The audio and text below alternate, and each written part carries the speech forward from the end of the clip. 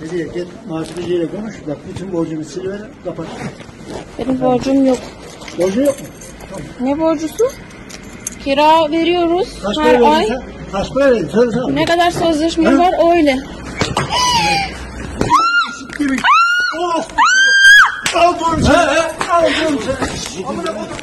Ee, Bugün saat 11 gibi kendi iş yerimiz geldi.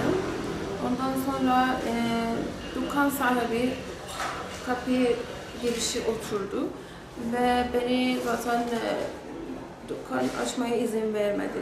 Neden? E, kira fazla istedi. Zaten sözleşme her şey var.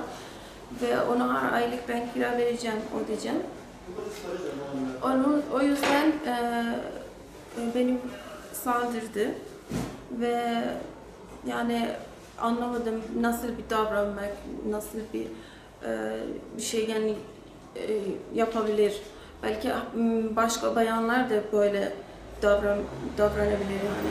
O yüzden ben e, bunu açıklara söyledim ki e, hem şu an korkuyorum artık belki bir daha yapabilir bunu hem de bir destek istiyorum. Zaten şikayetçi oldum ama şu anda korkuyorum. Bilmiyorum nasıl oluyor artık.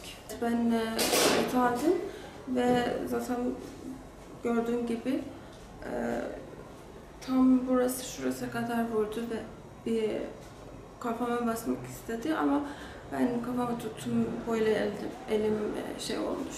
Ben Isparta'da kadınlar, polisler yardım istiyorum şu an. Kendini güvenli hissetmiyorum. Belki o adam bana şu an öl- öldürebilir yani. Lütfen bana yardım edin.